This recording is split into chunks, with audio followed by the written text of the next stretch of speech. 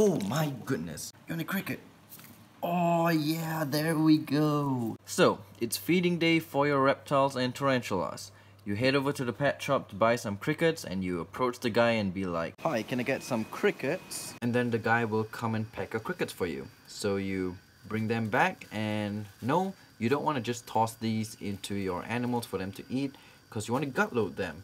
So what you want to do is grab a bucket or a, oh by the way this is my pet tiger. Him since I'm three years old. So this is my previous batch of crickets that died.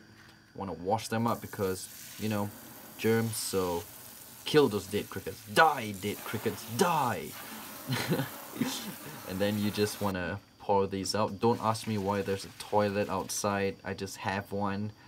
Put some detergent and give it a quick scrub. Don't use your mother's sponge, the one from the kitchen, because she will kill you guys. She will. Give it a nice scrub to get rid of all the grime and dirt and pour it back into the toilet because that's the way we do it. Now you want to um, wipe everything down dry, take a paper towel and just wipe it as dry as you can. Fully dry, preferable because these crickets are just dumb. They can drown in almost any puddle of water one centimeter of water, they drown. So put a piece of egg crate in if they're too big, cut it in half, toss in your crickets and let them explore their new enclosure. Oh, that's a dead cricket. Dude, you okay man? Oh, you're not dead. Get off! now you want to get rid of this uh, newspaper because you don't know what germs have been in here. It's been in pet shop. Put them together with your other rubbish and we're gonna feed the crickets now. Get some dog kibble or cat or fish food, whatever you want, dried food, and just put it at the side. Well, this is what I do. You don't have to do this. And look at them. They are slowly all coming to the food. Like, they have excellent smell sensors. I don't know how they smell. It's barely even been a minute and they're all here. What I do is also open the fridge and go through what I have in here. So let's see. Ah, there we go. So that's an overripe banana that we didn't eat. So I usually open these vegetable slots and see what vegetables there are. Oh, check it out. We have got some carrots. Don't tell my mom because she cooks them. Oh, wait, what? There's roots and a leaf coming out of the carrot. Yeah, this is what my fridge looks like, guys. Vegetables are not... what can I say? Gotta restock. Oh, by the way, this is a really wrinkled orange because yeah we don't we just buy oranges and we don't eat them. I don't know why. There's more carrots and what is this? I'm not quite sure what this is. Interesting but not for the crickets. So here's the orange the carrot and the banana and what you want to do is not toss them in you want to cut them up first. So these is what a carrot looks like on the inside. If you were wondering for some reason I don't know. So I'll put it in together with the crickets let them have a feast. Same thing I did with the bananas. Cut them in half and you guys want to see what a banana looks like inside? There you go. Yeah I'm just weird. Don't mind me. Anyways let's put the bananas together with the crickets and the carrots and let them choose what they want you thought that was a full orange, didn't you? it's half an orange. I cut it in half because how do you expect cricket to bite through this thick skin? But yeah, let's put it in. That's a great source of vitamin C. Look at that. There's already one craving for vitamin C. Oh, never mind. It's going for the potassium in the banana. Okay, now you don't want your banana, huh? Okay, fine. Make up your mind. Look at these guys. They look so creepy. Like, I don't like crickets at all because of how they look but I gotta deal with them because I'm keeping insectivore animals. Hmm. This guy, however, is just sitting alone, isolating himself because, yeah, sharing is not what they do. Dude, you wanna get some moisture? Go, go, go, get your carrot. There you go, you're welcome. Om nom nom nom nom nom. Gotta get that hydration because the pet shop doesn't really give them anything to hydrate, so these guys they'll benefit a lot from these juicy fruit and vegetables. Look at this guy. Also loving... Okay, fine. Don't eat your carrot. When I mention you, you walk away. Then we've got our potassium eater over here. Oh yeah, that sack of orange. Let's just take it in like that. Because Orange juice is tasty, guys. I love orange juice. So I'm gonna put these guys at the corner here and let them gut load themselves. I'm gonna leave them here for about 24 hours and that should be that should be good. I'll come back tomorrow and we'll be able to feed them. Now you want to grab your trash because it's not cool leaving trash lying around.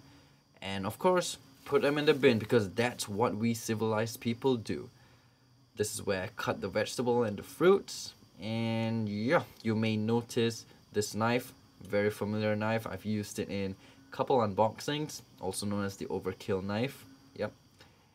Oh, wait, I just noticed I have some honeydew. So this will have some additional extra nutrition for the cricket. So let's go. Guys, here, grab your honeydew. It's really sweet. Now I'll put it over here because these guys are... Wow! Straight away, you left the carrot and went for the honeydew. Wow. This guy going for the honeydew. I can tell. Watch this, guys. He's going... And there we go. He's got his honeydew. Loving his honeydew. We have another honeydew eater over here. So yeah, I guess we'll just leave them be and let them gut load. The next day. So after about 24 hours, you should get crickets that are fully gut loaded and just fat. Like, look at some of them. They are just massive. Usually it's recommended to take out all the fruits and vegetables after 12 hours, otherwise they'll get nasty like this. But, well, it doesn't really matter if you're feeding your crickets straight away. But if you come across mold, then you gotta change them out. So once they've been gut loaded, well, you just get your tongs and capture one like this. Bring it over to your animal. Whoa, whoa, what's gonna happen?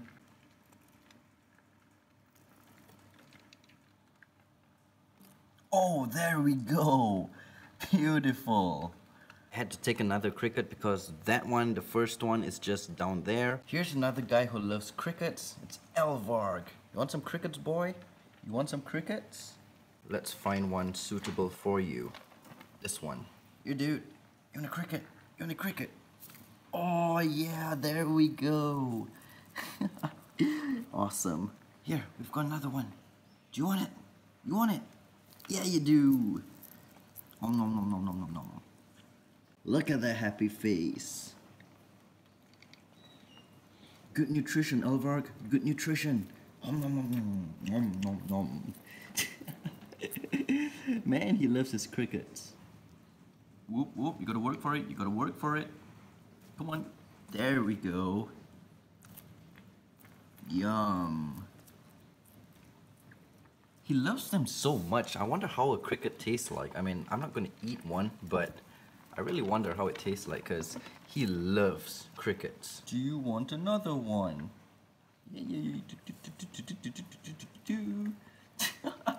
what was that? What was that? You didn't even try. Dude, you dropped a leg. You dropped a leg. Do you not want the leg? Oh, this one is fat. Look at that, guys. Look at all those guts that are in there. You would like this one. Here. You want this. You want this? This is delicious. It's fat. Come on. Yeah, there we go. Ugh. What are you doing? Have you had enough? You had enough?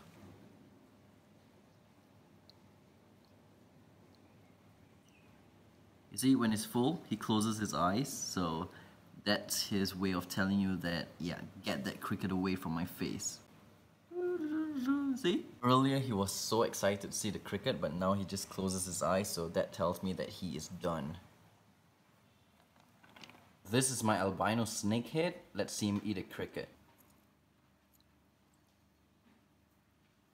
Here he comes.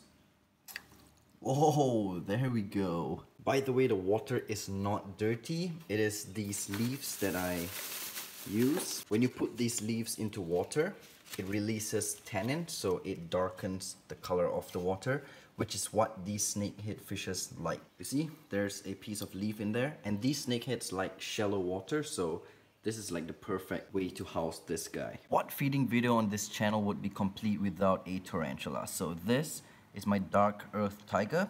Some of you have been asking how she is. Well, how are you girl? think you are fine. Yep, she is fine. So I'm gonna choose a cricket. This one looks juicy. And then let's see how she hunts. I'm gonna throw this cricket behind there and hopefully she'll go and grab it. Whoa, whoa, whoa. Girl, I'm not the cricket, okay? The cricket is over there.